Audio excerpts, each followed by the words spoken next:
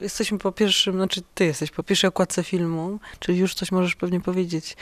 E, To jest film o, o umieraniu, ale też o nowych początkach. Ten film teraz jest tak naprawdę o tym, że skończyło ta, em, życie jeden człowiek, który w ogóle nie, jest, nie ma w filmie, ale który czuć. To znaczy to jest moje, to jest to, co ja chcę w tym filmie, że, żeby czuć obecność człowieka, który już nie ma. Ale to nie chodzi, że duchy tam chodzą, tylko po prostu em, w energię, można powiedzieć wi- wizualnie i to, co przeżywa główny bohater. To jest właśnie film tak naprawdę też e, o także o relacji ojca z córką, prawda, takich zepsutych, co chyba się, myślę, dosyć rzadko pojawia w kinie, takie mam wrażenie, a, a mi na przykład tego brakuje. Mi w ogóle e, bardzo interesuje najbardziej banalny, ale najbardziej prawdziwe relacje ludz, e, między ludźmi i uważam, że to jest w rodzinie. Nie między mąż i żoną, tylko między właśnie dziećmi z rodzicami, bo uważam, że to jest taki, zwi- taka związek i taka miłość, która jest okropna tak naprawdę, bo, bo najtrudniejsze jest powiedzieć rodzice kocham cię. Jest łatwiej powiedzieć mąż, nawet jak nie kochasz go. Moja postać to Nadia, córka Jana. Ma 26 lat, jest silną e, kobietą, która musi rozwiązać problem w swoim życiu właśnie. Nawiązać relację z tatą, ponowną. Zwykle się mówi o relacjach syna z ojcem. Jak ty się odnajdujesz w, ta, w, takiej, w takiej roli? Dość dziwnie, ponieważ y, y, nie mam tak naprawdę, y, nie miałam skąd czerpać wiedzy na temat trudnych relacji córki z ojcem, bo moje relacje z rodzicami w ogóle z tatą są fantastyczne, zawsze były. E, I tak naprawdę tylko na bazie y, scenariusza i tego, jaką historię jakby wymyśliliśmy sobie wcześniej, e, można było wywnioskować, dlaczego ta relacja jest taka dziwna. To jest tak naprawdę i debiut reżyserski, ale to jest debiut produkcyjny Studia Wajdy. Tutaj e, mamy do czynienia z, można powiedzieć, z wychowanką e, szkoły, e, szkoły studia Wajdy, ponieważ Nora McGettigan zrealizowała razem z nami swój krótkometrażowy film Jak to jest być moją matką. Rozwijała projekt scenariusza filmu Sanktuarium w ramach programu Ekran. E, No i zdecydowała się, kiedy już zapadła decyzja o e, wpuszczeniu filmu do produkcji, zdecydowała się robić go z nami. Akurat się to szczęśliwie zbiegło z momentem, w którym e, wyodrębniliśmy ze struktury szkoły studio filmowe, studio Wajdy. No i tak, no jest to ciekawe. Myślę, że to jest skok na głęboką wodę, bo po pierwsze jest to debiut, jest to koprodukcja, e, jest to duży film, e, no ale mówiąc to w przedostatnim dniu zdjęciowym, odpukać, mogę powiedzieć, że chyba nam się udało. Nora jest, e, to jest jej debiut. Czy jakoś się różni praca z debiutantem, reżyserem od bardziej doświadczonych twórców? W filmie głównie kieruję się tym, kto do mnie mówi i z kim się spotykam. Krótko mówiąc, chodzi o to, jak poznałem Norę i jak oczy jej się żarzyły na ten projekt. I to jest dla mnie najważniejsze. To powiedzenie, nieważne co, ale z kim, to jest chyba bardzo wiążące. Nora miała tyle zapału, tyle chęci, takiej determinacji. To jest właśnie charakterystyczne dla debiutu tak patrzysz na, na kogoś i myślisz, no nie, no to musi to zrobić, no bo zwariuje, no to trzeba coś, to trzeba jej pomóc. Jeżeli chodzi o pracę z y, aktorem, operatora, jej, bardzo, bardzo mi się to podobało. Natomiast jeżeli chodzi o ideologię, to tam nie wszystko mi się podobało w jej tych filmach, które mi pokazywała. Tam dyskutowaliśmy na ten temat. Także to, te, do, tego, do tej pracy przystąpiliśmy bez jakiegoś zachłyśnięcia, takim uniesieniu, że kocham cię raz na zawsze, wiesz, tak dalej, tak dalej. Nie, nie, nie, tam już dyskutowaliśmy. No ale ona jest reżyserem, więc y, moim obowiązkiem jest, y, było podporządkować się jej wizji. No i zrobiłem to z, z pełnym przekonaniem.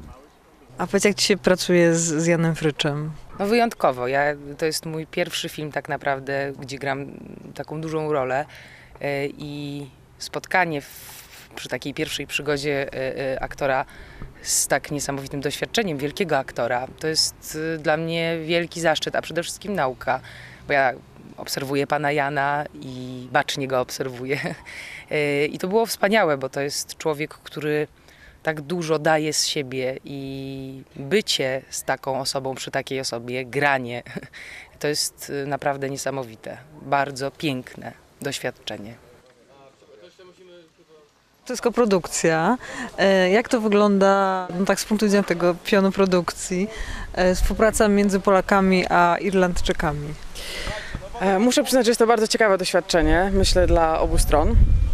E, Przede wszystkim e, zaczęliśmy zdjęcia w Irlandii i tam pojechała bardzo duża część polskiej e, ekipy, łącznie z grającym główną rolę panem Janem Fryczem. Są różnice, nie będę ukrywać, że nie, ale myślę, że obie strony mogą się od siebie bardzo wiele nauczyć. E, Irlandczycy podchodzą do spraw bardzo mm, profesjonalnie, bardzo zgodnie z, nazwijmy to, zegarkiem. E, Wszystko jest zaplanowane co do minuty. W Polsce jest trochę więcej spontaniczności, E, no ale myślę, że dla tego filmu takie połączenie irlandzkiej skrupulatności i polskiej fantazji to jest bardzo dobre rozwiązanie. To było dla mnie bardzo ciekawe experience, bo ja wszystkie filmy, mimo że kręciłam dwa filmy w Irlandii, to, był, to byli polskie produkcje. I byłam totalnie przyzwyczajona do polski sposób zrobienia zdjęć.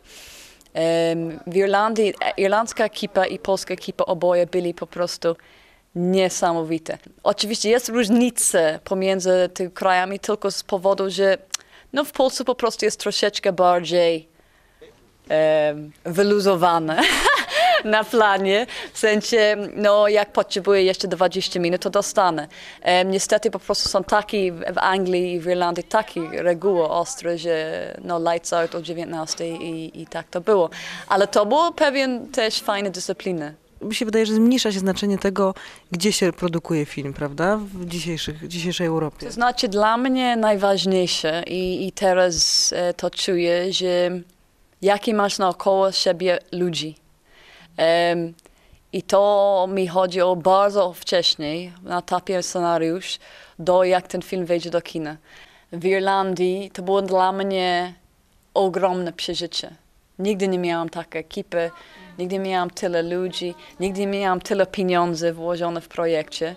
I to wszystko na mnie działało, można powiedzieć, na początku nie najlepiej, bo czułam presję tego, czułam, uff, to już nie jest trzydziestka.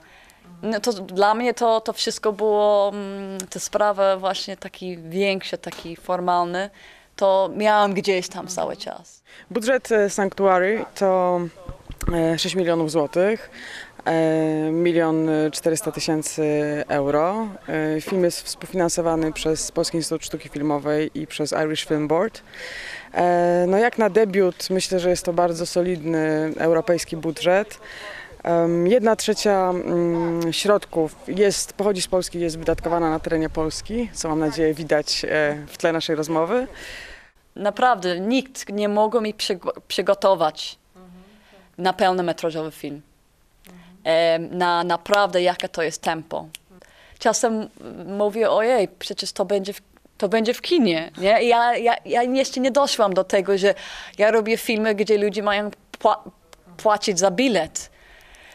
I to chyba dobrze, że nie myślę o tym za, za, często, to, bo mo- mogłabym, no nie wiem. Myślę, że to jest kolejne szczęście, że trafiłam e, właśnie na Norę e, w takim pierwszym dużym moim projekcie, ponieważ jest to osoba szalenie czuła, wrażliwa, wspaniała, która bardzo dobrze wie, co chce zrobić, jak, y, jak, jak ten film zbudować, jak, jak, jak to wszystko ma wyglądać. Bardzo jej ufam i czuję się tu bardzo, może to jest niedobrze, że czuję się bezpiecznie, każdy dzień to wyzwanie, wiadomo, ale y, otoczyła mnie taką jakąś niesamowitą troską. Dlatego y, te pierwsze kroki stawiane w tak dużym projekcie y, na pewno są dla mnie mm, y, o tyle wygodne i o tyle fajne, że właśnie jestem otoczona przez takich ludzi, a przede wszystkim jestem otoczona opieką przez Norę, która jest świetnym, wyjątkowym człowiekiem i wspaniałym reżyserem.